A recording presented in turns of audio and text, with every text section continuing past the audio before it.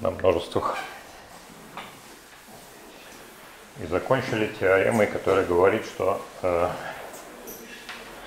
на каждом бесконечном множестве существует так много ультрафильтров, как только можно себе представить. Максимальная оценка возможная достигается. Вот, значит, от этой общей теоремы давайте вернемся таким ультрафильтрам более специфическим. Рассмотрим такие понятия, значит, специальные, некоторые специальные ультрафильтры на омеге, на счетном множестве. Но есть вообще целая наука про это дело, есть много разных интересных ультрафильтров, а некоторые из которых имеют всякие интересные комбинаторные приложения.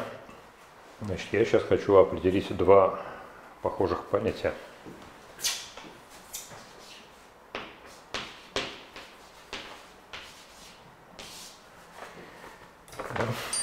Пусть у нас есть какой-то такой ультрафильтр D.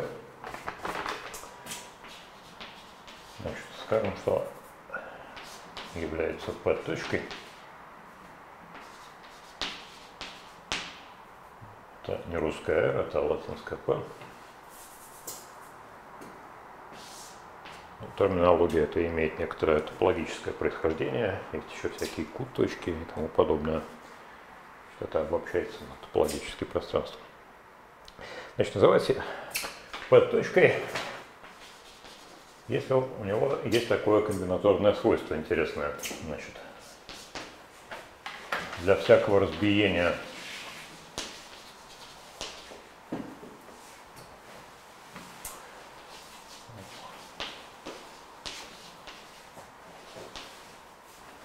такого счетного разбиения множество омега. Расчетное число кусков маленьких с точки зрения этого ультрафильтра. Что для всякого n, значит, а э, не принадлежит d. Значит, на всякого, для, для всякого разбиения на маленькие множества, но автоматически такое разбиение должно быть бесконечным, потому что это ультрафильтр, Значит, существует... А? Т это ультрафильтр. Да, это ультрафильтр, да. Но я не стал просто второй раз писать слово ультрафильтр. Значит, сейчас мы определим два их понятия, два специальных, два ультрафильтра, понятия, два специальных таких свойства ультрафильтров. Значит, P точка и рамсельский ультрафильтр. Значит, P точка, если для любого такого разбиения на маленькие множества найдется множество большое, которое э, пересекается по малу с каждым таким кусочком разбиения по конечному числу. Да, такое, что э, для всякого n, значит, x пересеченное с n конечно. Но больше нуля. Не обязательно. Если он не главный, да, он вполне может какие-то просто игнорировать э, кусочки разбиения.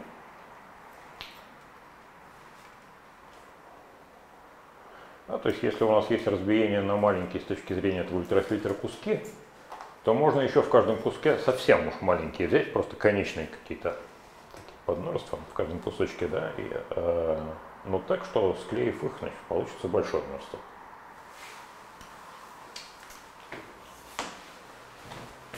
Э, ну, соответственно, называется Рамсеевским.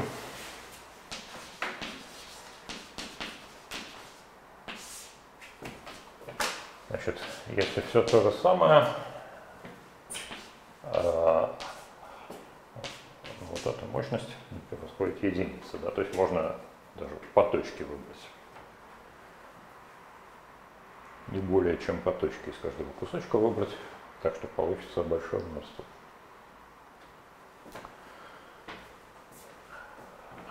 Ну, понятно, что э, всякие рамсеевские являются P-точкой.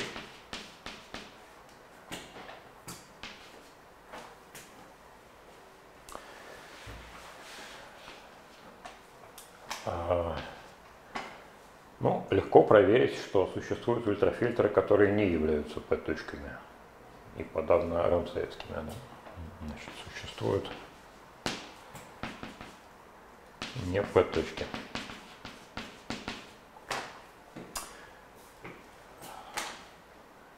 Ну, как это сделать? Значит, как это показать, что есть ультрафильтры, которые не являются P-точками. Ну, давайте возьмем какое-нибудь разбиение, да, фиксируем какое-нибудь разбиение.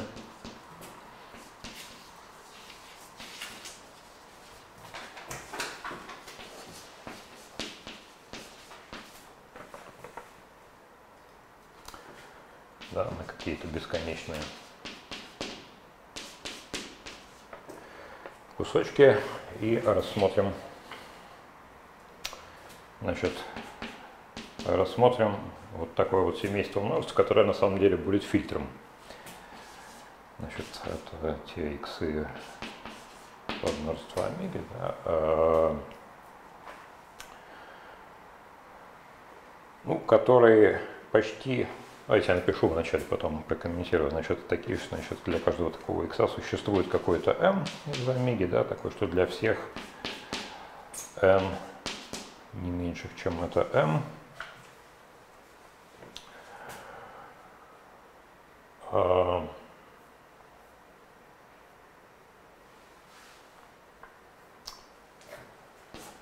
вот это ан без этого множества x, да, которое вот элемент значит, семейства, который мы определяем, оно маленькое. Сейчас, я извиняюсь, очень плохо просто видно из зума. Вот где вторая точка, что там написано? Здесь написано, это я, наверное, мелко пишу, э, существуют не P-точки. Угу. Не P-точки. Существуют ультрафильтры. Не все ультрафильтры являются P-точками. Окей. Ну, построен конкретный э, такой ультрафильтр, да, который не является P-точкой. Ну, настолько, насколько ультрафильтр может быть конкретным. Значит, фиксируем какое-нибудь разбиение на бесконечные вот эти кусочки, n. Значит, рассмотрим такое семейство, которое состоит из тех подмножеств омеги, значит, что э, начиная с некоторого места m, да, существует m натуральное такое, что для всех n э, не меньше, чем это m, э, Ну, так сказать, вот если мы пересечем вот этот кусочек АН с x, то оказывается, что он содержит почти все, да, кроме конечного числа, так сказать, элементы. элементы этого АН. Да? То есть для почти всех n э, вот это вот пересечение n кусочка с, с x, оно содержит почти все элементы э, этого кусочка, где почти все означает все, кроме, может быть, конечного числа.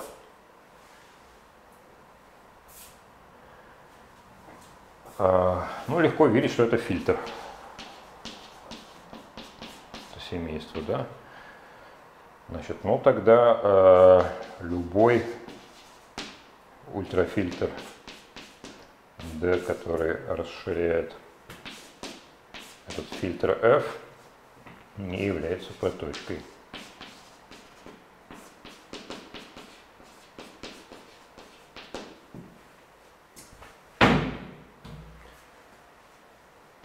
Ну, относительно, так сказать, этого разбиения, естественно, как можно ожидать.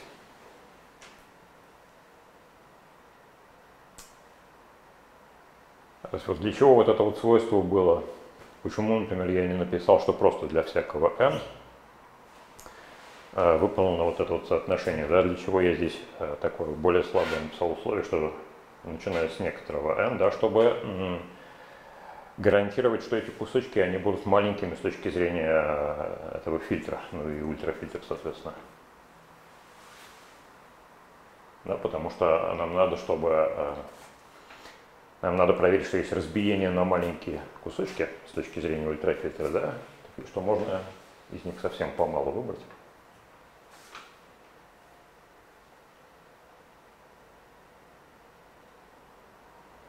значит, действительно, относительно любого такого ультрафильтра, значит, это разбиение, оно будет разбиением на маленькие кусочки, которые не принадлежат даже.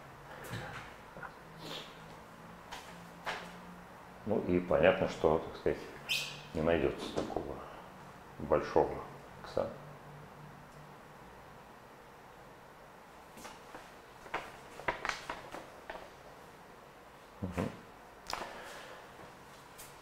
А, ну что существует не по точке, понятно, а существуют ли по точке.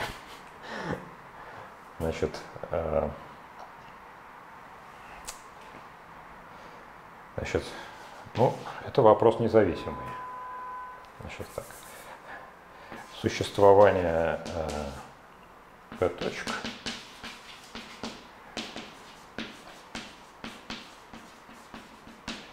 зависит э, остальных аксиом Затовца. Э, то есть можно построить модель, где есть по точке, можно где нет по точек. Ну и, соответственно, рамсеевских. Но э, модель, где нет по точек, ее очень сложно строить, это Шалах построил. А модель, где по точке есть, она строится легко, потому что достаточно взять э, ну, модель, где выполняется континуум гипотеза. Например, множество конструктивной по Гюбелю. Давайте докажем вот эту вот эту теорему о том, что континуум гипотезы влечет существование с чем связано название? Это топ, э, топологическое название. Э, значит, но ультрафильтр, на самом деле, это точка в некотором пространстве. Да? Множество всех ультрафильтров, а, оно несет естественную топологию некоторую. Ну вот, так сказать, э, некоторые точки топологи в некоторых пространствах называют P-точками, некоторые еще как-то, это у них традиционно, я уже не помню, откуда это название. Ну и в частности, вот, так сказать, вот эти вот такие ультрафильтры, они как раз будут в топологическом смысле P-точками. А с чем связано название Рамсеевский? Рамсеевский э, с тем, что, значит, он напрямую связан с теоремой Рамсея можно показать, что, так сказать, это как раз тот ультрафильтр, для которого выполняется теорема Рамсея бесконечная в том усиленном смысле, что, вот, так сказать, это однородное множество, которое теорема Рамсея гарантирует, оно большое с точки зрения этого ультрафильтра. Теорема Рамсея говорит, что значит, всякого разбиения, там n найдется однородное множество, да, такое, что все n взяты из этого множества вот. Значит, а ультрафильтр рамсейский тогда и только тогда, когда а, значит, можно гарантировать, что такое однородное множество, оно принадлежит этому ультрафильтру. Да, то есть в некотором смысле усиление да, теоремы Рамсея, что вот оно большое даже, оно не просто там бесконечное однородное множество, оно большое с точки зрения ультрафильтра. Но на самом деле у этого э, существует еще очень много эквивалентных свойств, это очень важное понятие, это рамсейский ультрафильтр. И э, два из них, из этих свойств я упомяну сегодня. Э, давайте пока проверим, что э, эти рамсейские ультрафильтры существуют в предположении континуум гипотезы. Значит, теорема.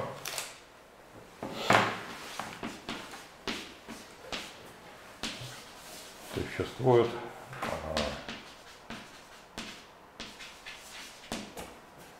рамсеевский ультрафильтр.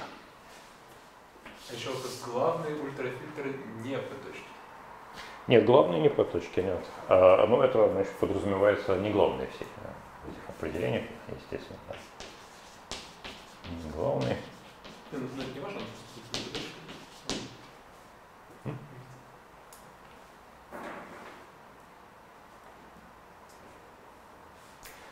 А если он главный, как вы его разобьете, так сказать, на кусочки, каждый из которых маленький? В один кусочек эта точка попадет, на которую, который он порождается.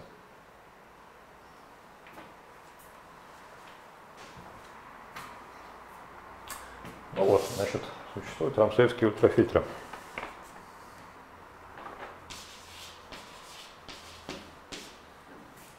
Континуум гипотеза, мы помним, что такое, да? Мощность континуума совпадает с альфа-1.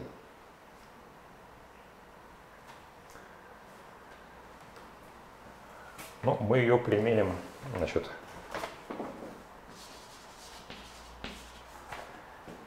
вот к чему.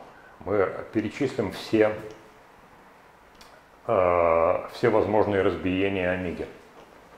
Ну, можно, конечно, перечислить и бесконечную гипотезу, это какая-то длинная, может быть, будет, да, последовательность, но нам будет важно, что э, каждое разбиение будет занумеровано счетным ординалом. Что пусть у нас будет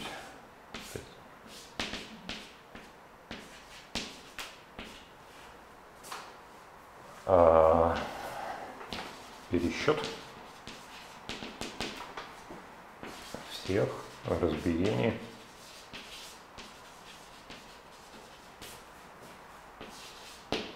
множества омега. Значит, мы построим такую специфическую, почти убывающую последовательность подмножеств омеги. Значит, построим такую омега-1 последовательность. А, значит, множеств x альфа. Альфа, соответственно, счетный ординал, подмножество омеги. А, ну, напишу так, которые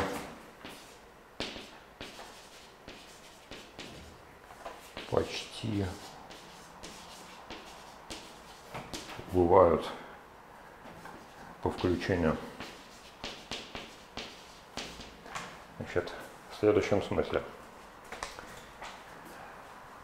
Ну, убывает по включению понятно, да, что, так сказать, омега-1 больше по включению, чем омега. Нет, омега-альфа больше, чем омега-альфа плюс 1. Значит, а, под почти включением я подразумеваю а, значит, такое отношение, значит, включение с точностью до конечного, э, какого-то конечного множества. Значит, ну, x0 все равно, как определить, можем взять все омега. Значит, а дальше мы поступаем так. Значит, x альфа плюс 1. Я напишу здесь бесконечных, да, чтобы не писать это что определение дальше. А, бесконечных.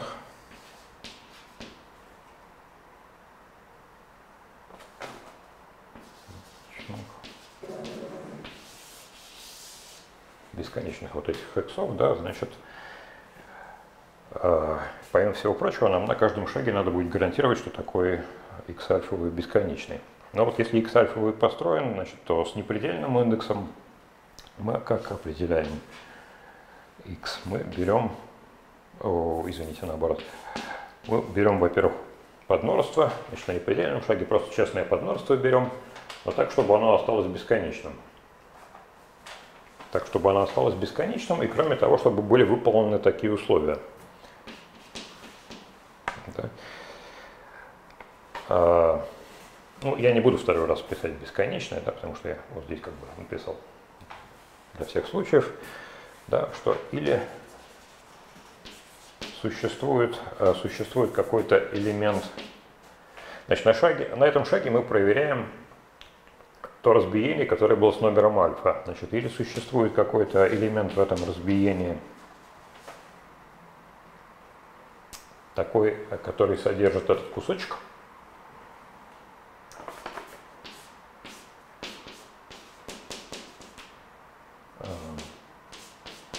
Один элемент, да, или, или весь этот кусочек бесконечный, да, под множество вот этого, попадает в какой-то один э, кусок разбиения. Ну или если такого не нашлось, то э, тогда берем значит, такой, который наоборот пересекается по малу. Такой, что э, пересеченный с каждым куском дает максимум одну точку.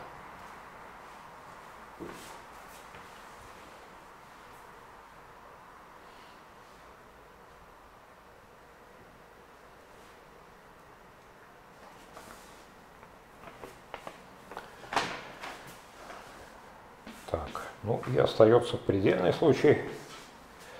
x альфа альфа предельный.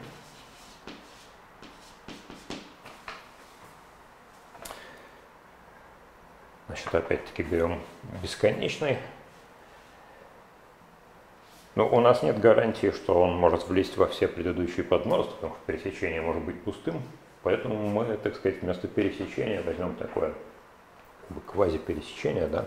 Значит, мы возьмем такой альфовый x, что для всякого меньшего бета вот это вот пересечение, э, извините, вот эта вот разность его, да, но она максимум конечна. Да.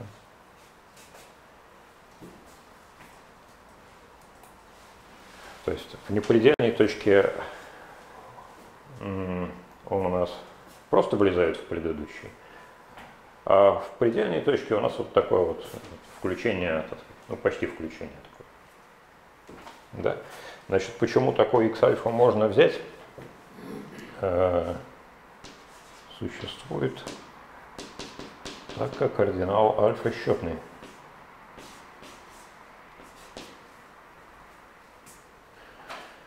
Ну, можно проверить, что если вы, у вас есть какая-то счетная последовательность таких вот почти убывающих xbet, да, то найдется такой x альфа. На самом деле достаточно даже для случая омеги проверить, да, что вот если есть какие-то там xn, да, потому что ну, в альфа можно взять какую-то конфинальную последовательность э, типа омега. Да. Вот. Но я не буду выписывать подробно, значит, почему он существует, можете дома это сделать. В общем, вот, э, можно делать так. Значит, ну, вместо, во-первых, я говорю, что вместо э, общего случая достаточно рассмотреть случай омега, потому что в альфе есть конфинальная последовательность типа омега. Да? Ну, а для омеги, так сказать, надо вот рассмотреть насколько, э, насколько вот эти вот множества, посмотреть на их разность, так сказать, которая конечна, да, ну и, так сказать, прибавить вместо настоящего пересечения этих множеств взять такое квази-пересечение, когда вы к, каждому, к э, каждому из, из этих множеств добавляете конечное число, э, э конечное число элементов, грубо говоря, на которые они различаются. Вот, вот э, так сказать, континуум гипотеза, она вот ровно в этом месте э, используется. Используется то, что одинал альфа конечный, э, счетный.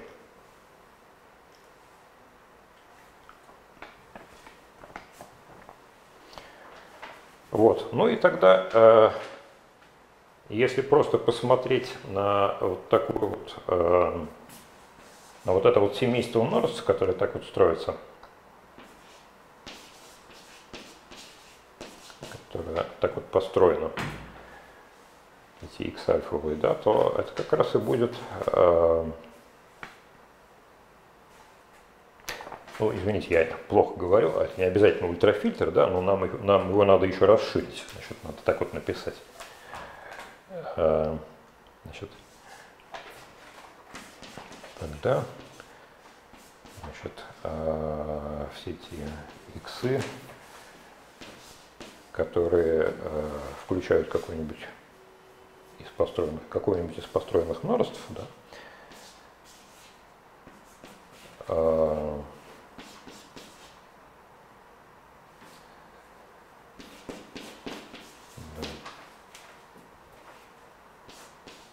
это как раз и будет советским ультрафильтром.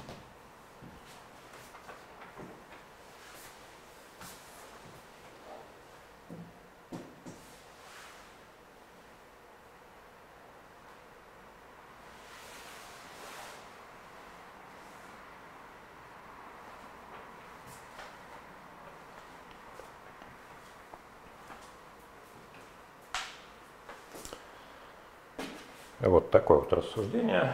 А, его можно ну, в каком-то смысле немножко усилить. Вместо континуум гипотезы здесь, можно брать Ксему Мартина, например. Вот. Но если совсем ничего не брать, то никакой гарантии нет. самом деле есть такие хитрые модели, где, так сказать, есть любое, так сказать, разумное заданное наперед число рамсеевских ультрафильтров, например, 0.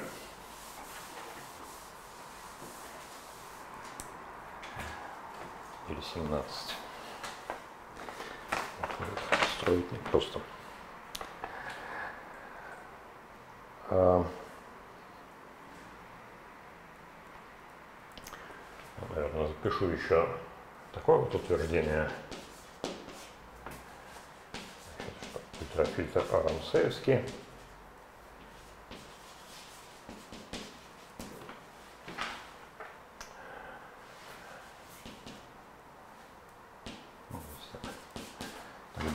Тогда когда он, э, ну, как говорится, селективный.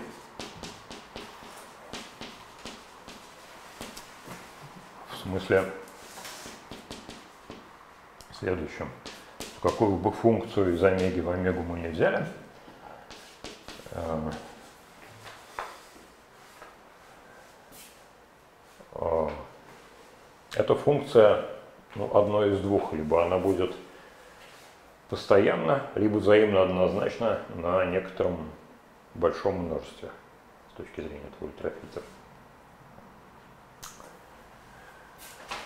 А, то есть существует x,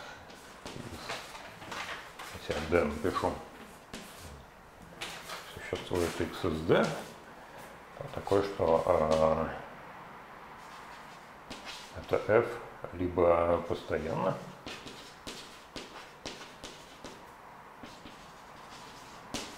либо взаимно однозначно а, на этом x. Это э, определение вот этого свойства я написал. Да? Скажем, что ультрафильтр селективный, если э, всякая функция на некотором его элементе либо постоянная, либо взаимно однозначна. Вот. Ну, легко проверяется, что это то же самое, что рамсеевский вот в этом смысле. Можно еще вопрос. А? В отсутствие, если мы континуум гипотезу принимаем отрицание, если отрицание континуум гипотезы принимаем, то он все равно будет, не, то будет независимым. Да, будет независимо, да. Ну, потому что, так сказать, во-первых, есть модель, где нет, э, значит, там автоматически континуум гипотезы нет. Во-вторых, э, можно взять аксиому Мартина, отрицание континуум гипотезы, там будет много таких э, точек. А, то есть это не эквивалентное утверждение. А, Значит, ну вот, значит, одно свойство э, равносильное – это селективность, а другое свойство – это минимальность. Но минимальность в смысле значит, порядка, который я еще не определил, сейчас я его определю. Ну, я могу сразу написать значит, минимальный. А, так. В смысле а, такого предпорядка Розенкислера, который я сейчас определю. Значит, давайте э, я вначале определю, что такое непрерывное расширение. Ну, нам, собственно, даже не очень важно, что оно непрерывное, потому что определение, которое я напишу, оно просто явное будет. Значит, давайте, вот если есть какая-нибудь функция, не обязательно даже из омеги в омегу, просто там из x в y, да, а xy2 множество. Значит, мы определим, ну, к слову сказать, значит, а, стандартное обозначение введу, значит, если x множество, бета x, э, под бета x я буду подразумевать множество ультрафильтров а, на x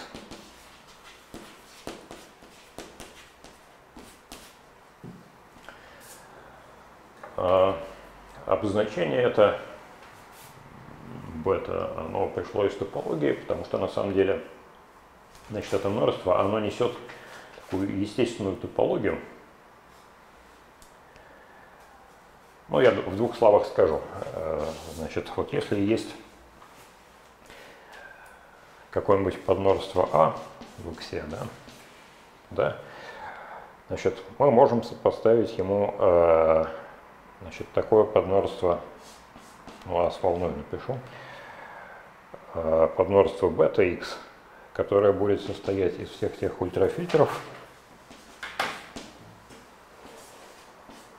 на x, которые имеют в качестве элемента это множество. Да? Другими словами, сказать, А принадлежит У тогда и только тогда, когда У принадлежит Сомы. А, ну, вот эти вот а, множества такого вида, да, которые задаются под множествами, они образуют а, открытую базу, естественно. На бета x, значит, и получается такое компактное, Хусдорфово, экстремально не связанное как говорится, э, пространство экстремально связанное, значит, что замыкание любого открытого будет э, снова открыто. Странное такое свойство, которое намного сильнее, чем э, нульмерность.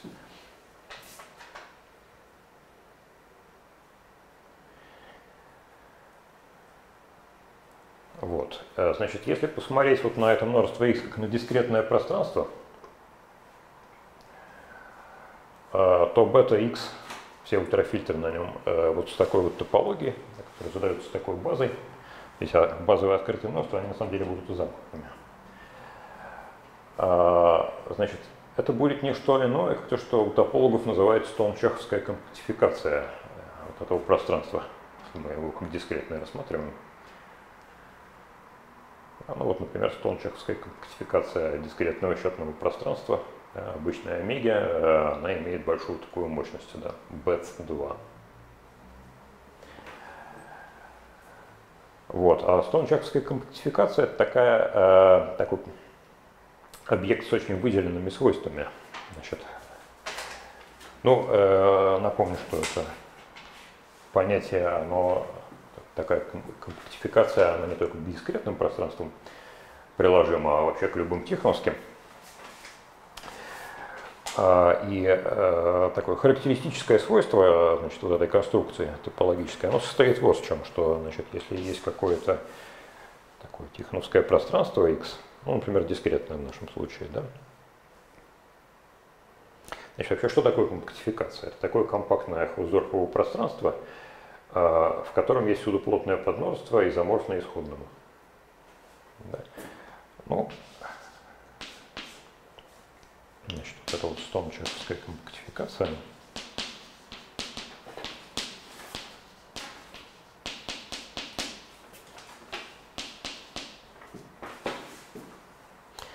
Значит, э, ну, поскольку там есть изоморфное подмножество, э, я просто напишу здесь так, включение, как бы включение, да, можно считать, что просто включено. Значит, а свойство характеристическое вот какое, что для любого э, компактного холздорфового пространства Y пахнет Худзорфова. Если есть какое-то непрерывное отображение из x в y, f, да, то оно, так сказать, поднимается до непрерывного уже отображения вот из этого большего пространства. Любое, любое непрерывное, любое такое, значит, компактное Худзорфова. Вот это характеристическое свойство. Можно вот через это свойство определить вот, это вот, вот этот объект. Да, и в ситуации, когда этот x дискретное пространство, это будет не что иное, как наше пространство ультрафильтров.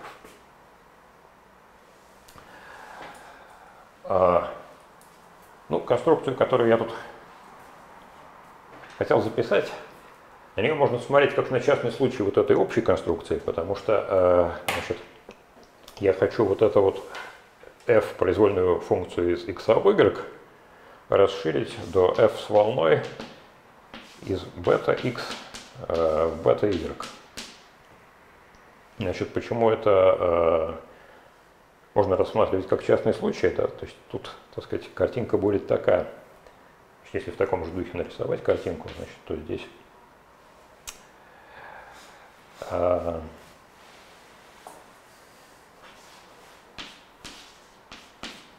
это x,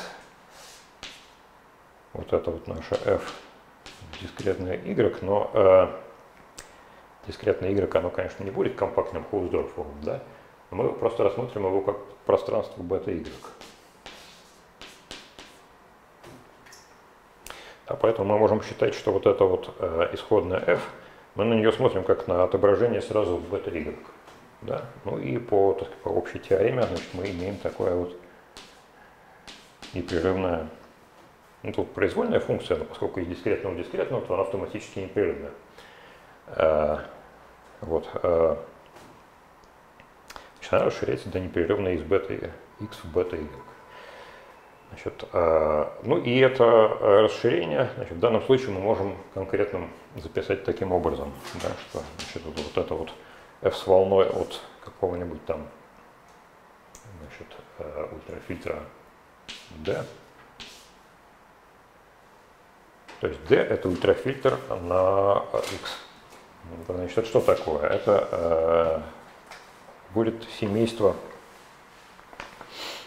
значит, таких множеств, скажем, а, из Y, да, у которых прообраз принадлежит этому D.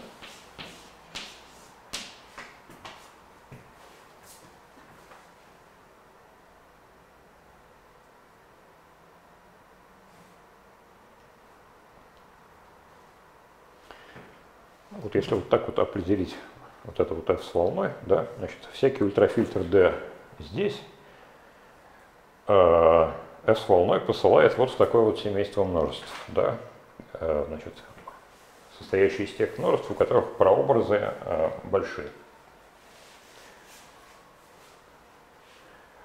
Значит, то легко проверить, что вот этот вот объект это тоже ультрафильтр на Y, соответственно, да.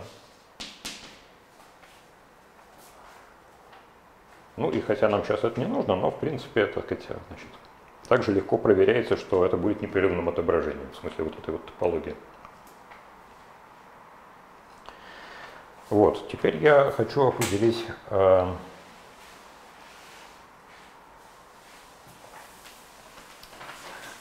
этот вот предпорядок, или как говорят, порядок э, Розенкисера.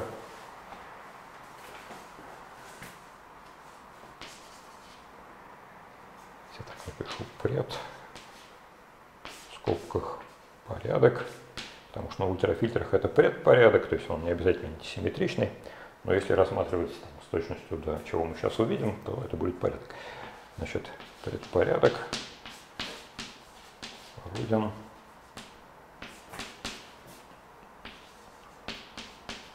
Кейслера.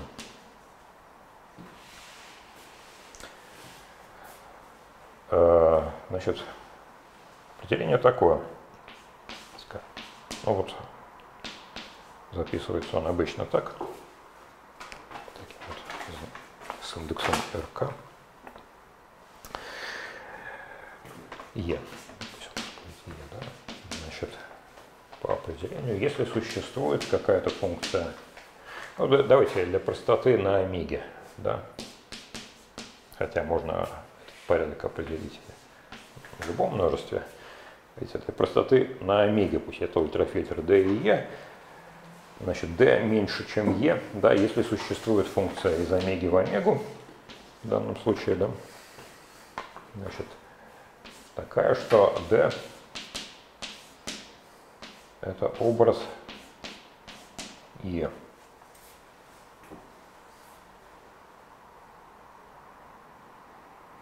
Да, существует функция из омеги в омегу, да.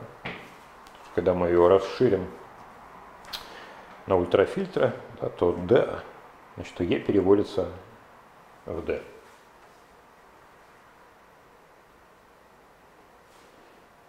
Образ, он будет меньше.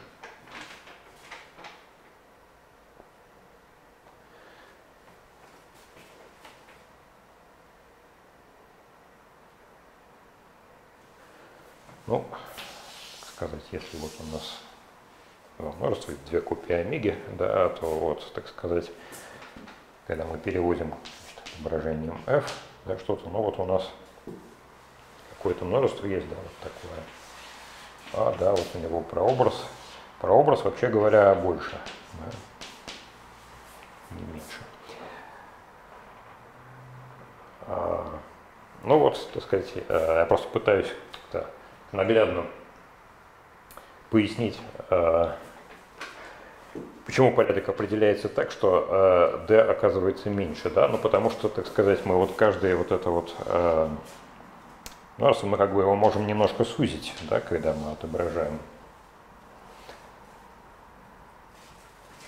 Да, поэтому, так сказать, когда мы вот этот вот наш, э, наш образ при f с волной, да, он будет состоять вот из каких-то таких множеств, у которых, ну вот семейство будут, вообще говоря, из каких-то больших множеств состоять. Да, поэтому, так сказать, естественно считать, что то, что вот этот ультрафильтр, который получается под действием этой f с волной, он так меньше. Вот такое определение.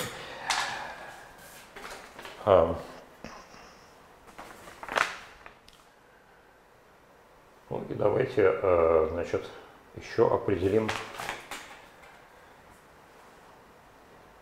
еще такое определение введем. Значит, вот у нас э, значит, такое отношение предпорядок. Ну, легко проверить, что это предпорядок, да, так сказать.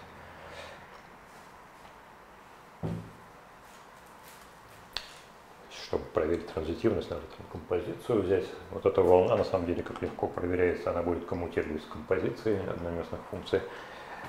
А, ну и давайте еще вот такое напишем, так сказать.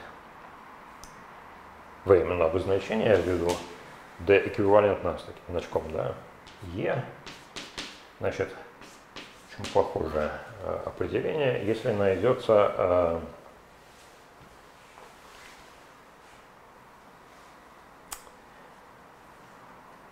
так, взаимно однозначная, взаимно однозначная f, да,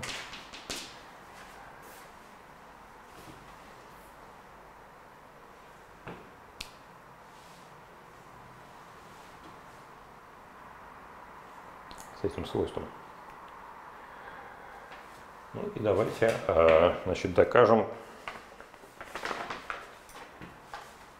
такой важный факт.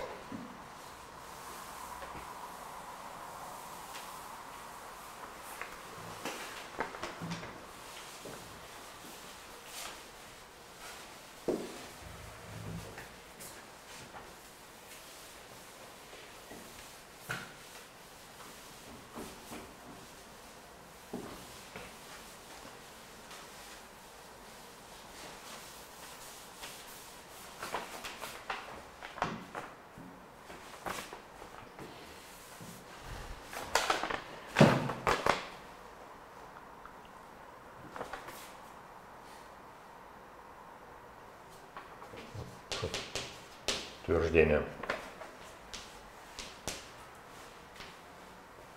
А, значит, если d меньше или равен равен крейсеру, чем e, а e в свою очередь меньше или равен, чем d, да, то оказывается, что d и e просто эквивалентны не просто в том смысле, что есть функция сюда и функция обратно, а в том смысле, что вот есть такая вот взаимно однозначная функция. Значит, ну, оно, это утверждение следует значит, из такой а,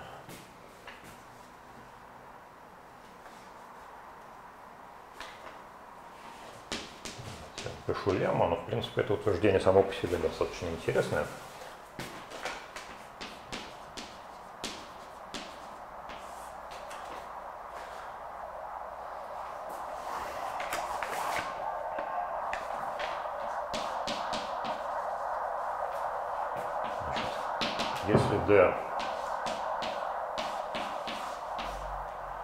Равен f с волной от d да, для какой-то э, функции f.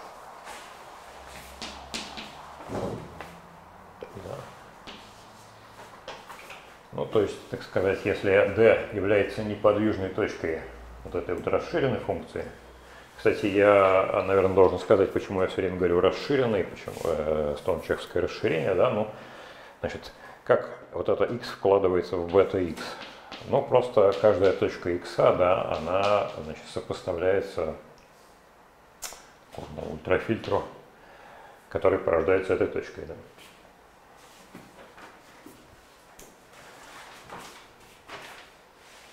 А, да, значит, если вот этот ультрафильтр, да, точка в нашем пространстве, бета-омега, является неподвижной точкой этой расширенной функции, то оказывается, что эта функция устроена так, что почти все точки у нее неподвижны с э, точки зрения этого ультрафильтра. Да. Да, то значит, те, множество тех n, для которых f от n равно n, оно принадлежит этому ультрафильтру D.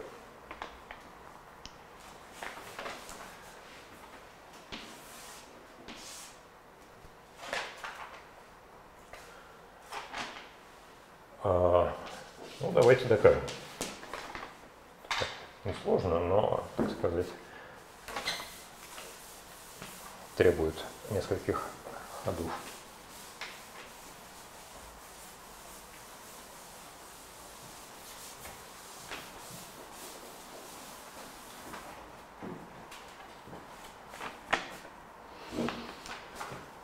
Так, ну, естественно, омега разбивается,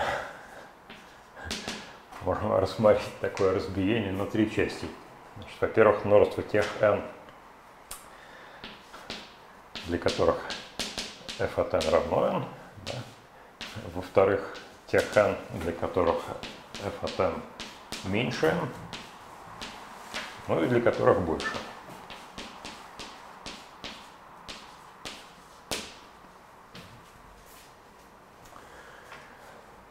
Ну, поскольку D ультрафильтр, одно из этих множеств обязано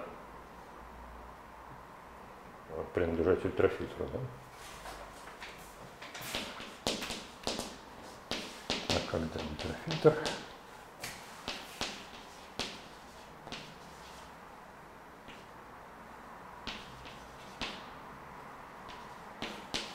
Одно из них принадлежит D. Ну, то есть нам надо, нам достаточно проверить, чтобы доказать, что вот это вот принадлежит D, что мы хотим. Нам достаточно проверить, что э, не вот это вот множество, давайте назовем его x, не вот это множество y. Да. Проверим.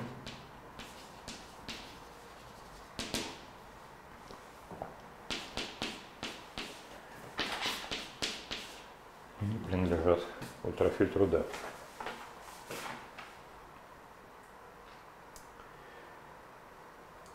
Ну, вы понимаете, свойство да, ультрафильтра такое, что если э, два, если объединение двух множеств А и Б принадлежит ультрафильтру, то одно из них обязано принадлежать ультрафильтру. Да? Это так, то же самое, что простой идеал в алгебре. Чем он просто идеал отличается. А,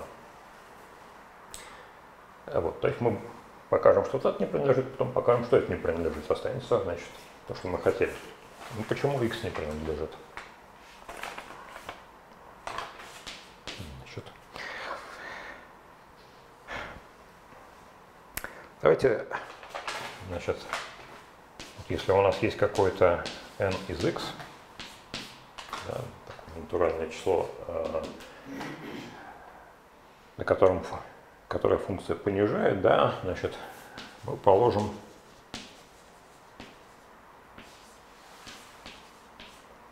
Значит, рассмотрим такой вариант этих чисел. L от n для такого числа n это будет э, длина ну, максимальной последовательности э, убывающей последовательности, да, значит, такой n, потом f от n, которая должна быть меньше. Ну, может, э, может оказаться, что сказать, f тоже попадает в x, да, тогда еще, там, сказать, значит, верхний индекс означает итерацию.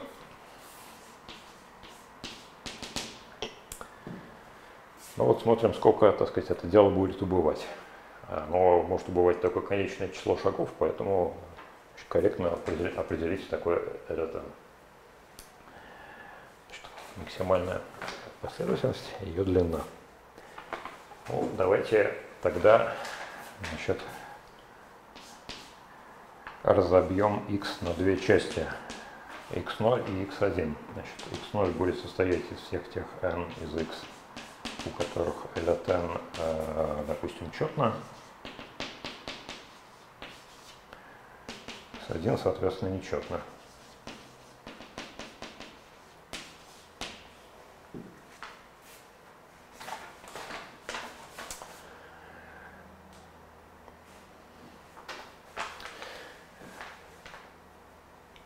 Ну, если x принадлежит d, то э, поскольку вот это, так сказать, в сумме дает как раз x, одно из них тоже должно принадлежать d. Да? Но это невозможно. Да? x, не, x0, например, не принадлежит d, да, так как что? Так как а вот посмотрим такое э, пересечение. Берем x0 и пересечем его с э, прообразом при значит, этой функции f.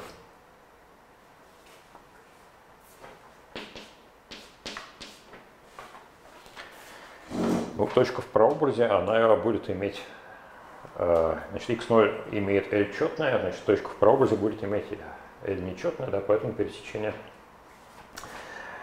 Значит, теперь, если э, x0 принадлежит d, да,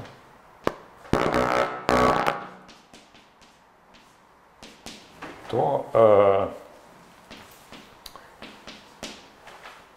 его прообраз тоже должен принадлежать d.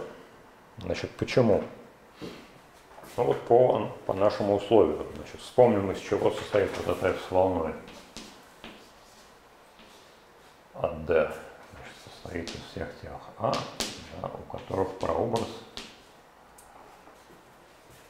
эм, давайте я X напишу, у которых прообраз D.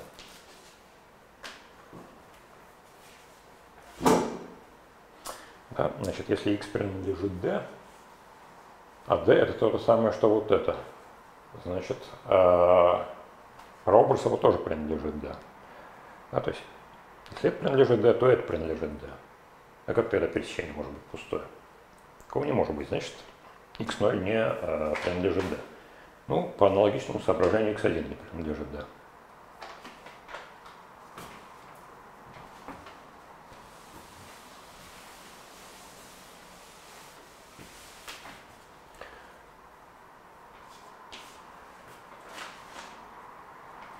Да, значит, э, вывод x не принадлежит d. Ну, теперь разберемся с y. Значит, с y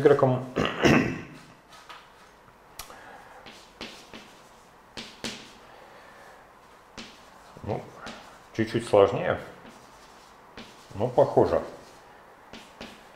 Значит, Э, значит, y разбивается на три множества.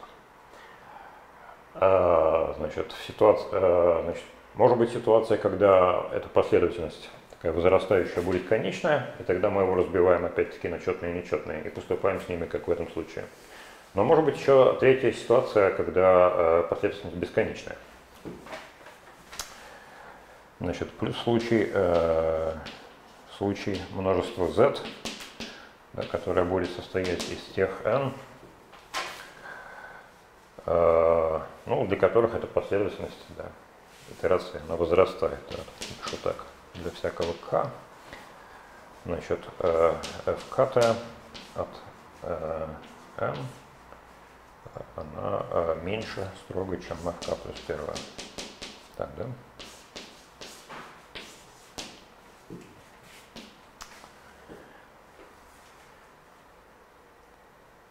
Вот, значит, нам теперь для полного счастья надо еще показать, что z тоже не может принадлежать d. Значит, мы это сделаем вот так. Я напишу. Скажем, покажем, что z не принадлежит d.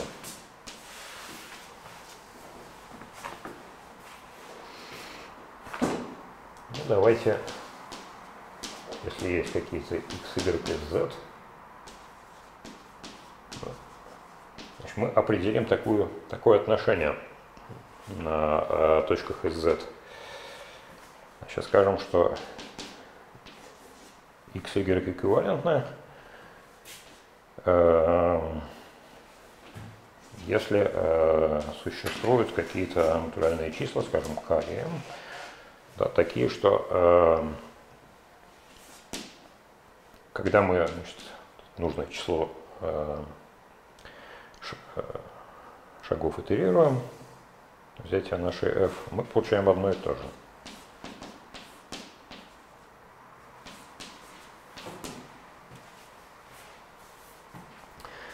Сейчас смотрим такое отношение, да, что существует значит,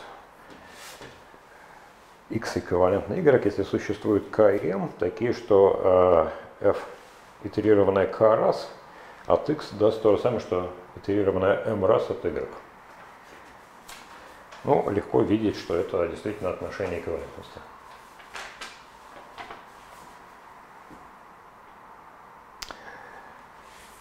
Ну, давайте фиксируем какой-нибудь один представитель, так сказать, в каждом классе. Можно, например, для определенности минимум взять, неважно. Значит, для всякого x мы фиксируем, да, значит, для x и z фиксируем э, вот такой вот элемент AX, который э, принадлежит значит, классу эквивалентности классу эквивалентности этого x. Да. Значит, все эти y, которые эквивалентны x. В каждом классе выбрали какую-то точку.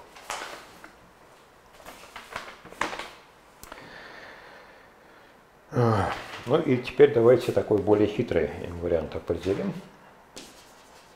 L.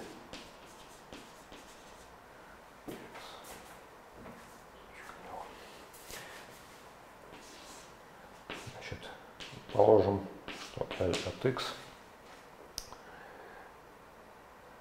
Значит, это наименьшая, наименьшая сумма K плюс M. Значит, такого вида, что э, f в степени k от x э, значит, равен f в степени m от представителя его класса эквивалентности.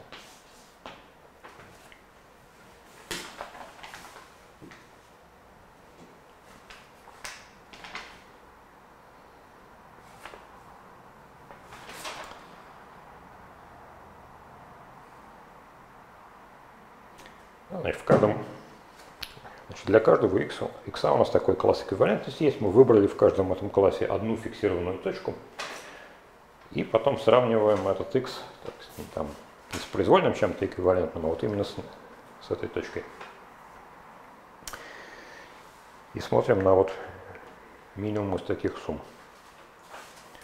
Вот это будет наш ряд x. Да? Ну, положим теперь э, опять-таки z0 это те z, для которых L четно, да, и z1, для которых нечетно. Зря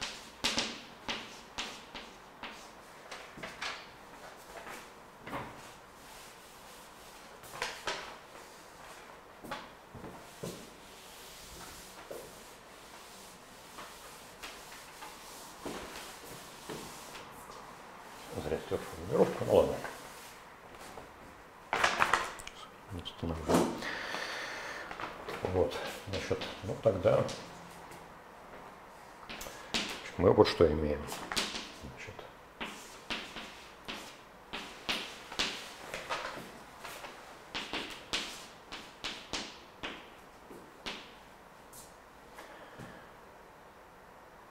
А, почему?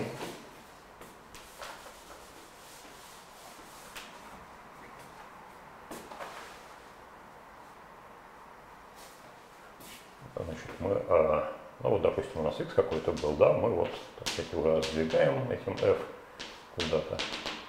Вот так за k шагов да, пришли а, в какой-то точке, к которой мы пришли за m шагов из точки а, а с индексом x.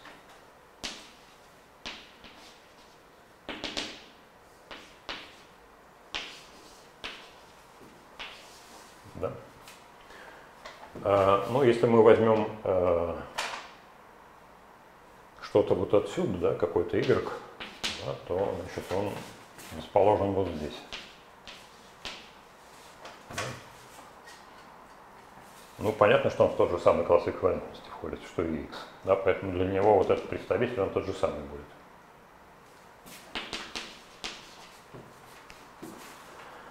Да, поэтому, так сказать, m осталось то же самое, а, а это значит, первое слагаемое увеличится на единичку. Да. Поэтому вот это равенство справедливо. Но если э, z принадлежал бы d, да, принадлежал бы d,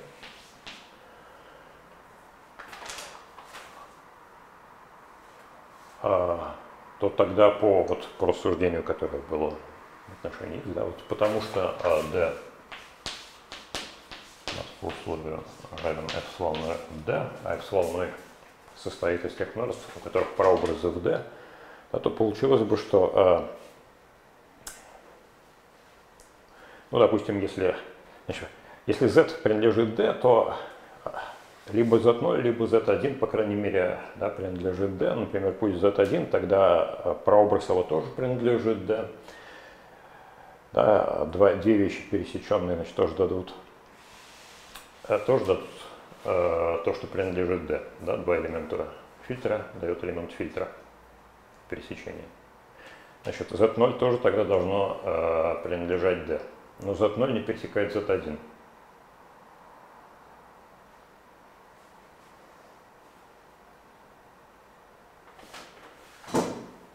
Аналогично, если мы предположим, что наоборот здесь z0, значит здесь будет z1, да. То есть ни один из этих, э, ни одно из этих множеств не может принадлежать d. Ну, значит, z тоже не принадлежит d. Ну вот, собственно. То есть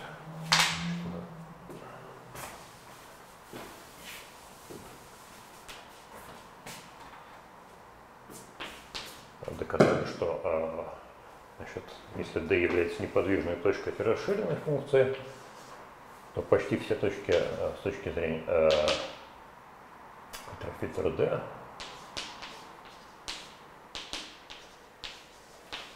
подвижны.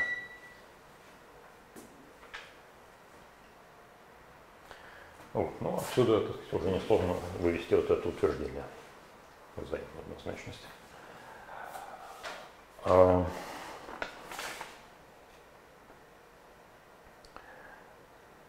наверное, вот что еще тут э, следует упомянуть. Сколько еще времени у меня?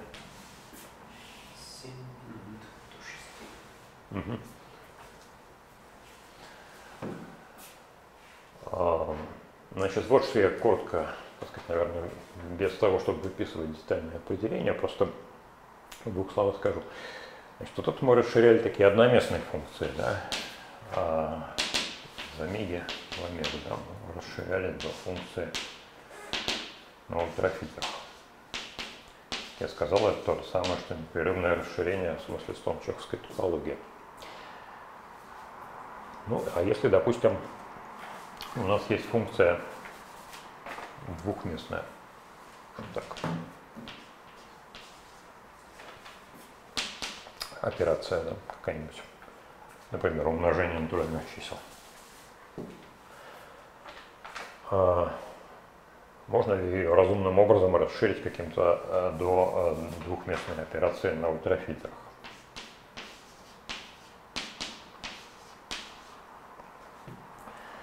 такой способ существует, а, но он не даст непрерывную функцию. Значит, способ, грубо говоря, а, я могу написать, так сказать, опять-таки комбинаторным образом определение, но оно будет немножко запутанно выглядеть из-за большого числа скобок. А, но интуитивная идея вот в чем состоит. Значит, мы а, фиксируем в такой двухместной функции один аргумент, а, ну, получаем значит, при каждом фиксированном аргументе какую-то одноместную функцию. Каждую эту одноместную функцию мы расширяем до непрерывной обычным образом. Вот, а, получаются, значит, такие вот такое частичное расширение. Допустим, если мы фиксировали первый аргумент, да, у нас будет вот такая вот полурасширение, а, значит, а, вот из такого пространства, да. Ну, потом мы наоборот фиксируем уже, значит, аргумент второй, который уже будет ультрафильтром, да, и еще раз расширяем, ну, используя вот, так сказать, столнчахскую компактификацию, вот это свойство столнчахской компактификации, значит, имеем право расширить еще раз. А, но непрерывными функциями тут будут только одноместные, да, а, так сказать, вот если посмотреть на двухместную функцию, эту расширенную, да, то она будет обладать таким кривым свойством, она будет непрерывна только с одной стороны, а с другой стороны она будет непрерывна э, частично, в смысле, что при фиксированных э, когда один аргумент фиксированный и является простым, э, и является главным ультрафильтром. Получается, порядок тоже важен, в каком мы... Важен, да, важен, да. А, соответственно, она будет либо лево непрерывной, либо право непрерывной.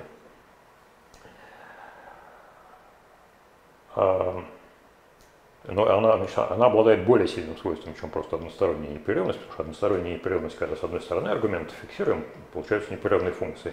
А здесь еще с другой стороны тоже можно немножко фиксировать, а именно главное фиксировать, если тоже получается непрерывная функция.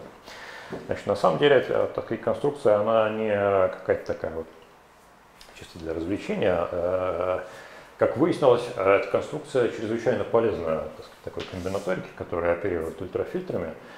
А, и с помощью ее, а, например, можно так, получить такое достаточно элементарное, которое можно в течение урока рассказать, а, доказательство знаменитой теоремы Хинмана о конечных суммах, ну, которая говорит, что для любого разбиения, конечного разбиения омеги, значит, один кусок будет большим, в том смысле, что будет содержать некоторую бесконечную последовательность вместе со всеми конечными суммами ее различных элементов.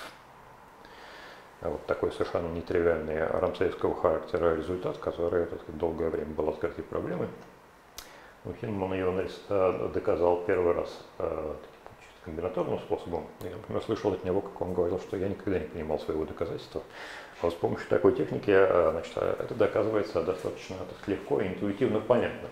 Значит, основана э, значит, идея таких доказательств ну, не, не то что идея, а то, такой ключевой момент в таких доказательствах, он состоит в использовании идемпотентного ультрафильтра. Значит, что это такое? Это э, ультрафильтр, который является идемпотентом с точки зрения такой расширенной операции. Ну, например, это могло быть у нас просто сложение, да, а вот у нас было там сложение натуральных чисел, там А плюс Б, да, мы, значит, так, расширяем его до какой-то такой операции, типа сложения ультрафильтров. Но она будет только не коммутативной уже. Но можно проверить, что ассоциативная операция расширяется до ассоциативной. Вообще подавляющее большинство свойств теряется, их естественных у операций, но, например, ассоциативность сохраняется. А, значит, э, и это один э, из таких моментов, который позволяет установить это сохранение ассоциативности существования идемпотентного ультрафильтра. Это что такое? Ну, вот это такой ультрафильтр. Значит, да, существует такое У, скажем, до омега, да, если мы рассмотрим омегу со сложением, например, обычным натуральных чисел, да, а, существует такой вот ультрафильтр U, который а, является идемпотентом. То есть U плюс U равно U. Вот, и э, оказывается, что э, вот этот вот кусок, например, большой с точки э, зрения теоремы Хинмана, который в любом конечном разбиении найдется большой кусок в таком комбинаторном смысле. Это как раз вот тот, тот кусок, который принадлежит такому ультрафильтру специфическому. Значит, э, ну, как доказывать, что такое ультрафильтр? Значит, тут есть большая разница между э, многоместными и одноместными операциями. Вот одноместные, как я только что рассказал, они вот таким вот свойством обладают, да, что если вот есть идемпотент в смысле одноместная операция, да, это неподвижная точка, да, то э, она гарантирует огромное количество неподвижных точек э, в самой функции. Совсем другое дело э, для, например, двухместных операций, потому что если мы возьмем, например, сложение, ну, если будем без нуля рассматривать, например, да, там идемпотентов нет, а, а вот такой вот идемпотент есть ультрафильтр. Да, значит, ну, есть такая сложная теорема Эллиса из динамики, которая говорит, что в любой э, правонепрерывной компактной Холсдорфовой э, полугруппе есть идемпотент. Вот как ни странно, да? Просто полугруппа могут быть без идемпотентов, но вот с таким топологическим условием э, значит, полугруппа обязана иметь идемпотент. Ну а поскольку вот когда мы расширяем операцию, значит, расширяем эту структуру дом бета омега с расширенным сложением, у нас как раз это и будет такая вот одна, э, правонепрерывная полугруппа, потому что ассоциативность сохраняется, да, можем применить теорему Эллиса, найти такой вот идемпотент и потом использовать его в доказательстве вот, теоремы Хельмана. Ну, э, чтобы какие-то другие, так сказать, такие еще более продвинутые теоремы такого комбинаторного толка доказать, надо строить идемпотент с уже специфическим свойством. Ну, в общем, целая наука такая есть. В общем, это область, которая такой инструмент, который активно применяется в некоторых областях э, комбинаторики, динамики, теории чисел и тому подобного тут переменяются те аксиомы выбора. Аксиома выбора применяется, потому что без аксиома выбора мы не можем доказать, что существует э, вообще ультрафильтр. Да. Непосредственно в доказательстве применяется, поэтому доказательство, да, оно такое, так сказать. Ну, собственно, для чего нам нужно, чтобы это был именно ультрафильтр, а не просто какой-нибудь фильтр, да? Потому что мы хотим, если мы хотим говорить о вообще любом разбиении, да, то нам надо гарантировать, что какое бы мы разбиение не взяли конечное, да, там кусочек есть, который принадлежит вот нашему ультрафильтру. Да. Вот это то, то, где мы используем, что мы взяли именно ультрафильтр, а не просто фильтр. Ну, то есть люди, которые не, не верят в аксиому выбора они могут задаться естественным вопросом, можно ли это доказать э, без аксиомы выбора. Значит, э, ответ – да, это можно доказать без аксиомы выбора, как это и было вначале доказано. Так сказать, а кроме того, э, ну, есть некоторая так сказать, наука, которая, э, ну, нек, э, которая значит, описывает результаты, которые можно так сказать, в принципе да, передоказывать какие-то значит, без помощи аксиомы выбора. Общем, есть класс таких утверждений, которые, чтобы доказать, достаточно доказать с помощью аксиом выбора. Потом по соображениям абсолютности, в общем, видно, что они просто доказываются.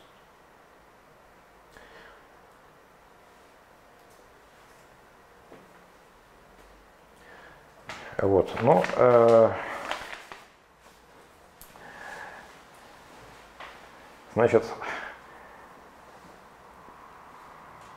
Может быть, я просто одно определение скажу, потому что после этого определения я собирался перейти к булевым алгебрам и фильтрам и идеалам на них. А, значит,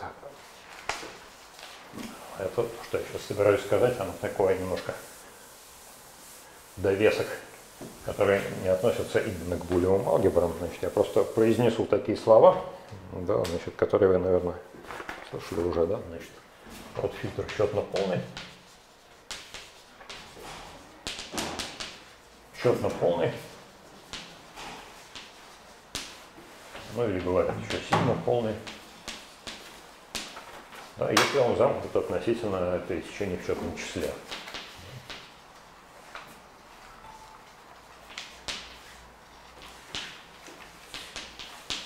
фильтр F, например, да, значит,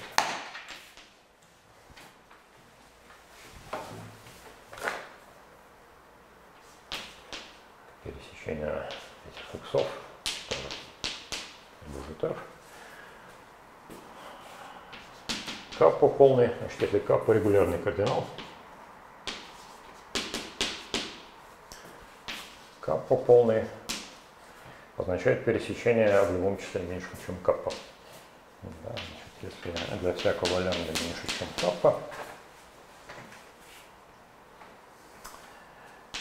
из того, что э, лямбда штук иксов э, принадлежит f, значит, следует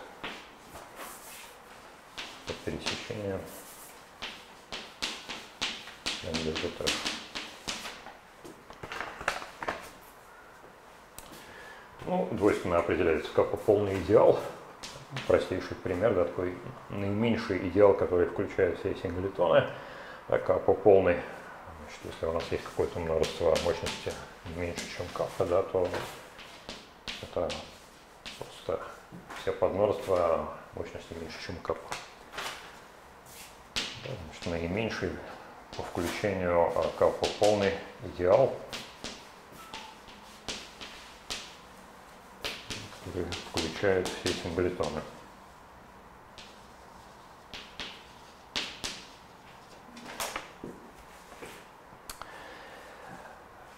Ну, легко понять, что, э, скажем, главный ультрафильтр является капа полным для любого капа.